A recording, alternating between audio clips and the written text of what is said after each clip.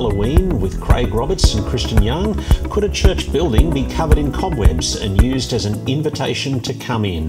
How should Christians respond to customs, traditions, and stories that have associations with false religions, demonic powers, and evil? Is it all about the occult and to be avoided at all costs? Or is it kids, funny outfits, and junk food? What should the posture of our church be? Craig Roberts is the CEO of Sydney's Anglican Youthworks and the former minister of Neutral Bay Anglican Church.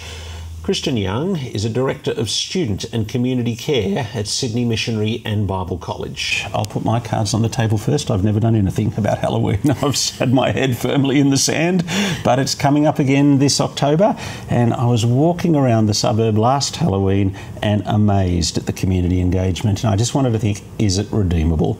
Uh, Kristen, can we start with your pastor's heart? Why would you say engage it all rather than just let it all go past? well, I guess um, many years ago, my husband and I have been um, in ministry in Lithgow for a long mm. time. Mm. And for many years, we were in the let's just forget it's happening kind mm-hmm. of camp. Um, Firmly with me. pretty much with you, yeah.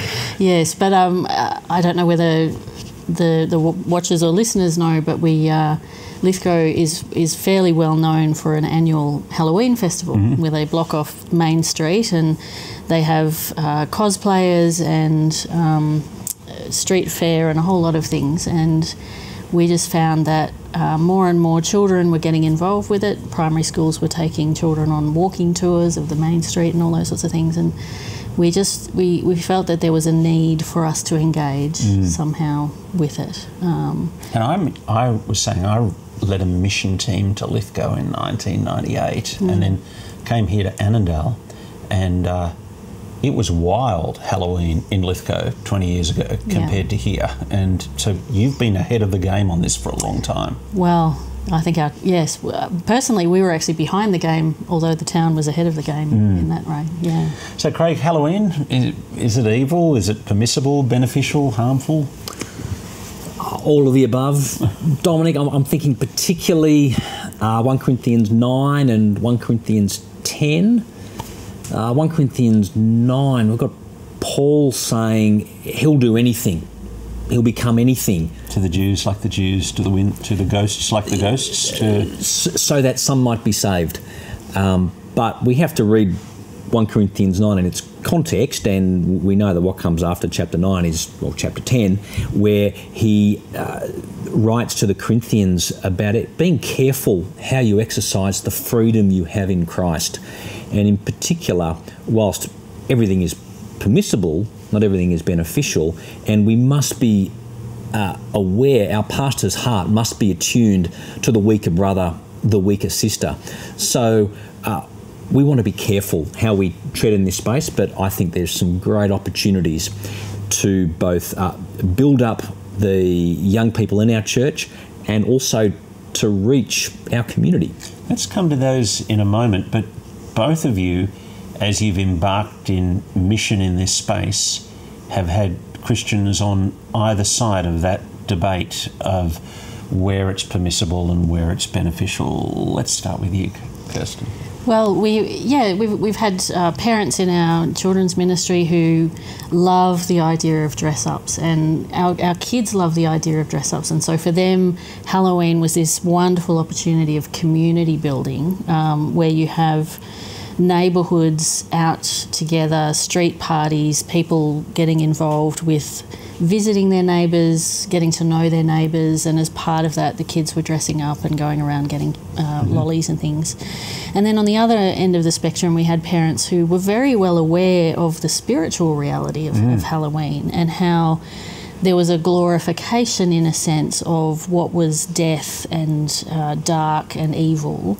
And, and for those parents, it was actually a matter of conscience to remove the kids from those celebrations and to say, no, no, no, we're, we're the people of light and therefore we shouldn't be involved in this. Mm. And so, as we came with our children's ministry, we came sort of into this context of helping the parents who wanted to engage with their communities to see the opportunities of evangelism in that space, but then also wanting to honour the heart of the parents who loved their children and didn't want their kids to be what they saw as being um, put into a dangerous position mm. of glorifying what shouldn't be glorified. Mm. So, how do you navigate it as a senior minister, Craig, in a way other than my bury my head in the sand strategy?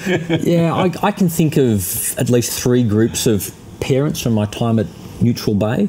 Uh, the, the first group, local families who saw what was happening, not so much in Neutral Bay, but there were two streets in Mosman, one, one of the wealthiest suburbs mm. uh, in, in Sydney.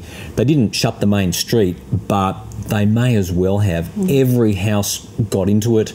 Um, the, the, homeowners would often take the day off work to, to prep their houses, dress up in all sorts of ghoulish and gory costumes. So there were some uh, local families uh, from churches would take their kids down um, Holt Avenue and Spencer Road, I think they were. Um, then there were some American expat families who were with us, and it was interesting hearing them talk about Halloween in America.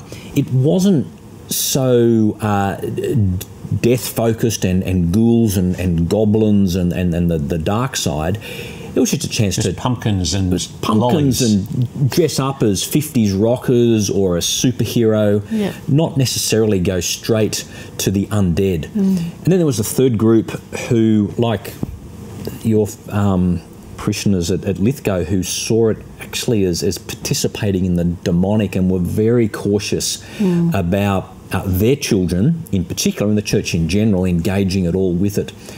And so, as a senior minister, as I try and navigate these different approaches, uh, I can recall one family in particular from the third camp were just dead against it. And as we talked about how we as a church might approach it, and we, we might tease this out later, I was able to agree with this family that they would stay at home and they would stay at home on their knees mm. praying for what the church was doing. Mm-hmm and that was a, a great example to me of unity within the diverse body of Christ, mm. all coming together that the body might be built up and the head Jesus might be honoured. Mm. So I, I, take it there's three, broadly speaking, potential pragmatic strategies. One, the do nothing, bury your head in the sand.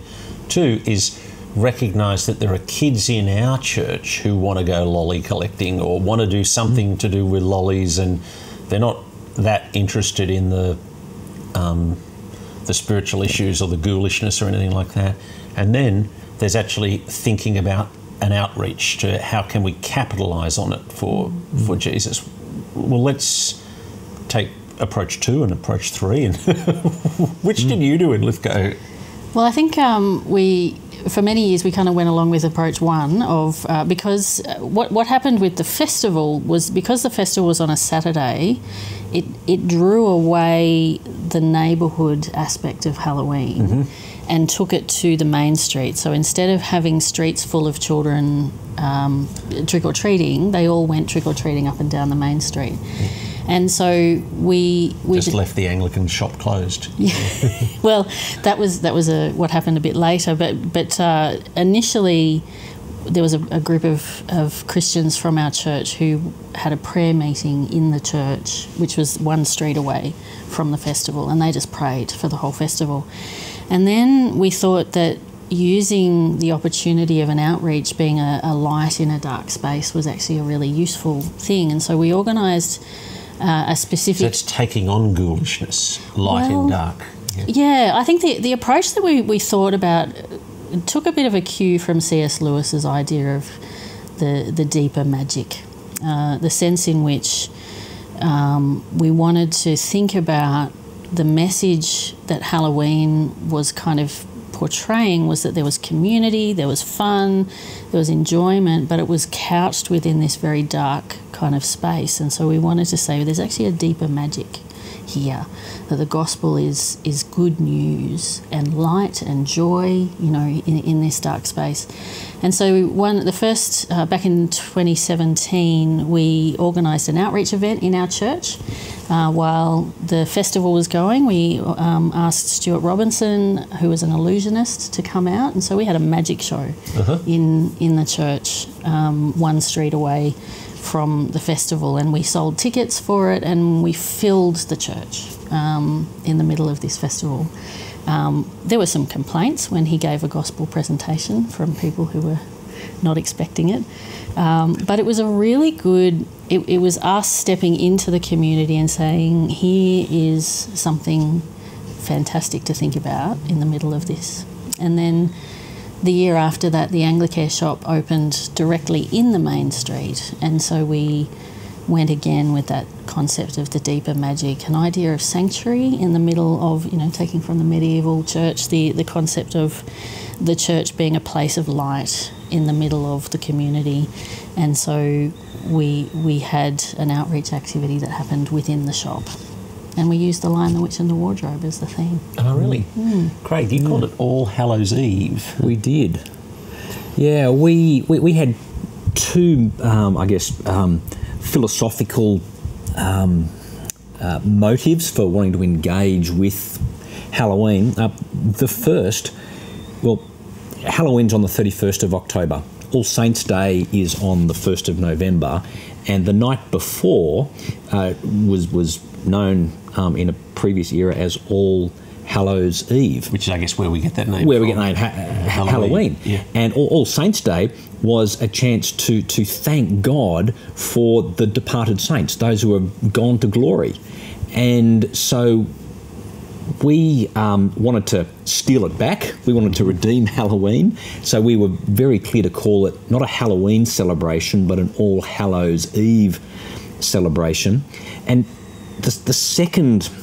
Um, uh, Did people, anybody get that distinction yeah. apart from the highly literate Christians? Well, no, because we made it a feature of what we did in the church in the afternoon, the early right. evening, yeah. um, to explain this is not about death and gore. This is about life and life to the full. Um, so it actually gave you the the way in to the gospel. Correct. We're, we're educating you about the yeah. real history of this that's, event. Yeah. That, that, that's right. And and the second, I guess, uh, philosophical approach we, we took was. And yes, we're coming up to Halloween. We're also in footy season. I think footy gives us a great metaphor here. If you're a little guy and there's a big guy running at you, you are not going to stop him cold in his tracks. The best you can do is use his momentum to push him over the sideline or move him to where you want him to go. So we thought, let's see if we can use all this hype and excitement in the local area around Halloween, like it was at Lithgow. How can we leverage that for gospel good? A bit like Paul at the Acropolis in Acts 17, when he walks around, he sees there's temples to every uh, deity. He could have got up and said, You blokes are just having an each way bet and you're all wrong. Let me tell you how it is. He didn't say that. He, he, he started, he said, Men of Athens, I see you are very religious. And I can imagine his hearers might have thought, yeah, this guy's onto something. We'll, we'll listen to him some more. And he moved them from the known to the unknown. They, he moved them from what they knew to what they didn't know, and he took them to the statue of the, of the unknown God, and he told them about the unknown God, uh, mm-hmm. the Lord Jesus. And we wanted to take the momentum in our culture and see if we could bend and subvert it and, and steal it back toward the original intent of All Hallows Eve by explaining its origins and explaining we don't have to fear the ghouls, the goblins, the gore, the the the undead, because we've got Jesus, and He's alive, and He offers life to all who come after Him. Mm. Now, spinning off on what you've just said, one of my friends has talked about um, uh, on a Facebook post having cut out cardboard tombstones with Bible verses about the victory of Jesus over darkness and death. And uh, I thought, oh, that's an interesting idea. And then I thought, how are the parents of our suburb going to react to the kind of like tombstones like that? Mm. It, all, it all suddenly becomes. We've just been looking at spiders, and then it suddenly mm. becomes a little bit more real when you're looking at gravestones. What do you think of that idea? Would you do that? Would you go that far? If, if I had a, a church that looked like the kind of church that should have a graveyard next to it, then I, I, I think it would work. Um, and people are coming to a church. Um, we want to be clear on who we are and what we stand for. So I'd give it a go if I had the, the, the right space and location for it. Kristen? Oh, look, Lithgow Main Street has decorations like carts with mannequins with sheets looking like bodies. So um, You'd still be pretty tame. gravestones are kind of tame by comparison. They have, uh, have they had uh, workshops up at the high school teaching the students how to put zombie, zombie makeup on. So um, cardboard. um, That's just nothing. Soft. Go Yeah, just it. wusses here. Well, uh, look, it's it's telling people about the hope and the joy, and I think that's that's part of what we want to leverage, isn't it, Craig? Like what you were talking about. People are excited about Halloween. They they love the thrill of it and the joy of it, and as Christians, we want to come along with. There is joy in this gospel because there's there's this deep and real truth that you can know that if you put your trust in Jesus, death has no fear for you because you have that offer of life eternal afterwards. Um, so you know ways that we can can say yeah that's fun, but here's a here's a more exciting fun, um, not necessarily fun, but here but here's a more eh, lasting and solid truth and hope that you can have in Jesus. Mm, I should say that couple that I spoke of who were a Guinnett um, at church, and once I explained to them that we weren't celebrating Halloween, we were celebrating All Hallows Eve, and it was very clear in all of our, our signage um, and in our, our comms, they moved from being dead against it to being happy that we were doing it, even though they, in good conscience, wanted no part of it, which is why they said they were happy to stay at home on their knees and praying for us. Now, um, I guess there's another question of just how much effort you put into everything, you know? and and so we've got a big effort in Christmas. We've got all these different things, and have we got the energy to, to pull this off? Um, uh, you sound like you were driven to it by the fact that it was such a big thing culturally, and in Ne- Neutral Bay as well, it was such a big thing culturally. As you've engaged with other ministers, what would your advice be to some, to someone in an area where it's not such a huge huge thing as in your space? I think the key of hospitality is a really good hook to be thinking about, and it doesn't need to be a bigger than Ben Hur event uh, in your church, but helping the, the lay members of your church to consider hospitality as a way of opening the door to the gospel is a really good idea, I think. So if you have members of your so if you've got a church that's away from the center of everything, the church building doesn't get particularly affected by the surrounding Halloween.